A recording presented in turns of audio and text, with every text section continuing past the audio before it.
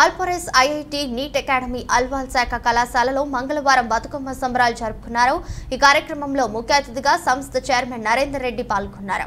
ఈ సందర్భంగా ఆయన మాట్లాడుతూ సంస్కృతి సంప్రదాయాలను ప్రతిబింబించే పండుగల గొప్పతనాన్ని వివరించారు. ప్రతి పండుగ ప్రకృతితో ముడిపడి ఉంటుందని తెలిపారు.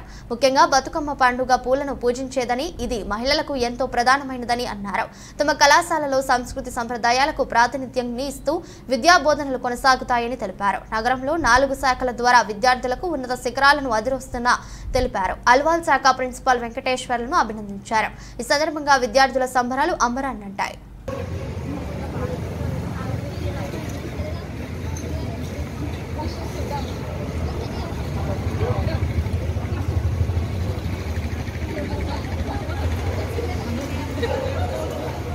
సార్ ఇక్కడ తీసుకుంటారా ఇంటర్వ్యూ అకాడమీ అల్వాలు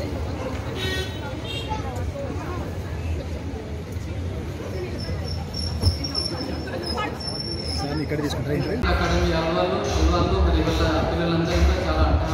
ముందస్తు బతుకమ్మ వేడుకలు పాల్గొంటున్నారు. మరి తెలంగాణ రాష్ట్ర పండుగ బతుకమ్మ పండుగ. ముఖ్యంగా ఇది మహిళలకు చాలా నచ్చే పండుగ.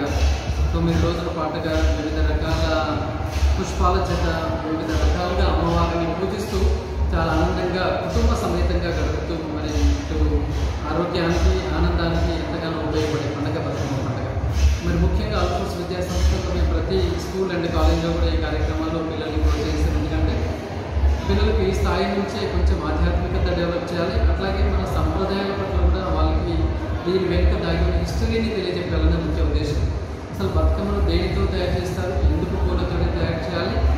తర్వాత బతుకమ్మను మన నీళ్ళలో విసర్జనం చేయడానికి ఏంటి కారణం? తర్వాత బతుకమ్మ వెనుక దాగి ఉన్న హిస్టరీ ఏంటి? అనేది చాలామంది పెద్దవాళ్ళు కూడా బతుకమ్మ కానీ ఇక్కడ జనరల్గా మేము అనుకోసం ఏం చేస్తాం. అంటే పిల్లలకి ఏం చేస్తూ? మిగతా పిల్లలందరికీ ప్రత్యేకిస్తాం తొమ్మిది రోజుల పాటుగా అమ్మవారిని ఏ రకంగా మనం చేస్తుంటాం? ఈ రోజు బాలత్రిపుర దేవి సుందరి రూపంలో ఇవాళ అమ్మవారిని మనం పూజిస్తూ ఉంటాం.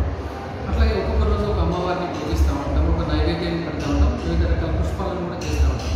అట్లాగే తంగేడి పువ్వు అనేది జనరల్లీ నార్మల్గా ఎక్కడో ఒక అడవిలో తర్వాత ఊరు బయట పూస్తూ ఉంటుంది. నార్మల్గా మిగతా పన్నెండు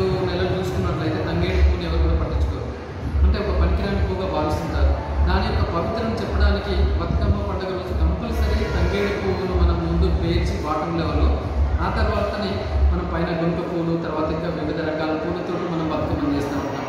బతుకమ్మ యొక్క షేప్ కూడా మనము పూర్వం ఆ రకంగా ఉండడానికి కూడా- దాని ఉద్దేశం ఏంటంటే తల్లి యొక్క గర్భ రూపము అని చెప్తూ ఉంటాం అంటే అమ్మవారిని ఇప్పుడు కూడా మనం ఆ రకంగా మనం పూజించుకుంటూ తల్లి బిడ్డలో పశు శిశువు ఏ విధంగా ఉంటుంది అన్నట్టుగా మనం బతుకమ్మను ఆ విధంగా పేరుస్తూ మనం వెళ్తా ఉన్నాం. కాబట్టి ఈ రకంగా మరి ఈ బతుకమ్మ అనేది మరి తెలంగాణ ప్రజలకు చాలా ఇష్టమైన పండుగ. అట్లాగే దసరా దుర్గామాత ఉత్సవాలు కూడా మనం చూసుకున్నట్లయితే ఇవాళ దుర్గాదేవి ఉపాసకులు తర్వాత చాలామంది దీక్షలో కూడా మన భక్తులు చాలామంది పాల్గొంటున్నారు. ఇవన్నీ కూడా నిజానికి ఆ దుర్గామాత ఆశీస్సుల చేత మరి మనమందరం కూడా సుఖ సంతోషాలతో ముందు పడగలం కాబట్టి అమ్మవారి ఆశీస్సులు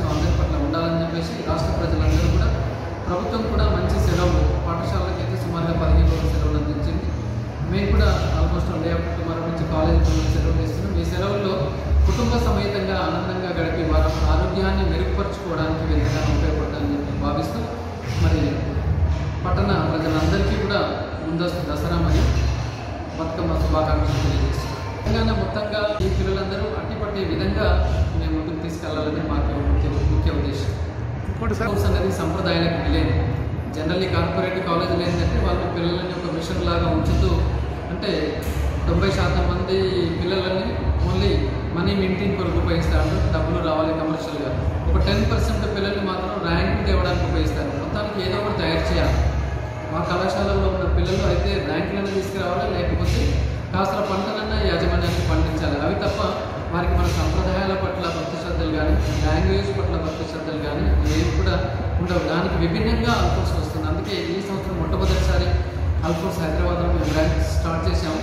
అన్ని చోట్ల కూడా పిల్లల్ని రకంగా వారి యొక్క మానసిక స్థితిని గమనిస్తూ ఒత్తిడి లేని విద్యను మేము చేస్తున్నాం. ఇక్కడ కూడా మనం ఐఐటి కోచింగ్ హై లెవెల్ మేము అందిస్తూ పిల్లలు చాలా శ్రద్ధతో ఇంట్రెస్ట్గా చదువు పట్ల వారికి ఆనందంగా మేము కాలేజ్కి వెళ్తూ ఐఐటి ప్రిపేర్ అవుతున్న విధంగా మేము చేస్తున్నాం.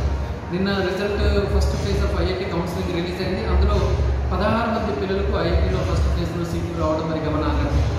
హైదరాబాద్లో ఇప్పుడు ఎంటర్ అయ్యారు. కానీ ఇంతకుముందు ఉన్నది కరీంనగర్ బేస్మెంట్ వరంగల్. అతి తక్కువ మంది పిల్లలతోటి మరి ఒక పదహారు మందిని ఫస్ట్ ఫేజ్లోనే ఐఐటీలో సీట్లు సంపాదించబట్టామంటే ఓవరాల్గా ఈ సంవత్సరం ఒక ఇరవై ఐదు మంది పిల్లలను ఐఐటీలో ఎక్స్పెక్ట్ చేస్తున్నాం. ఒక నలభై మంది పిల్లలని మెడికల్లో ఎక్స్పెక్ట్ చేస్తున్నాం. ఈసారి హైదరాబాద్లో అడుగు పెట్టాము. తప్పకుండా రాబోయే రోజుల్లో ఈ తెలంగాణలో పుట్టిన ఈ అల్ఫోర్స్ మరి తప్పకుండా ఈ కార్పొరేట్ కళాశాలలకు ధీటుగా రిజల్ట్ సాధిస్తూ రాబోయే రోజుల్లో ఎస్ సంప్రదాయాలకు నిలమైన ఆల్ఫోర్సే ముద్దు అన్న విధంగా మేము ముందుకు తీసుకెళ్తామని ఆశీర్వదిస్తున్నాం